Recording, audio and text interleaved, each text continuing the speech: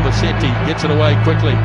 And uh, a good start here by Argentina. Here's an opportunity for Amorosino coming straight through. Now, straight sprint. Just ran away. And now he gets it away to Landajo. Landajo still going. What a try! What a try, Puma! Now with again, Dagg once more. Here's Whitelock. Beautiful pass away to Read. And Kieran Read here try gets it off to Dagg. Dagg scores.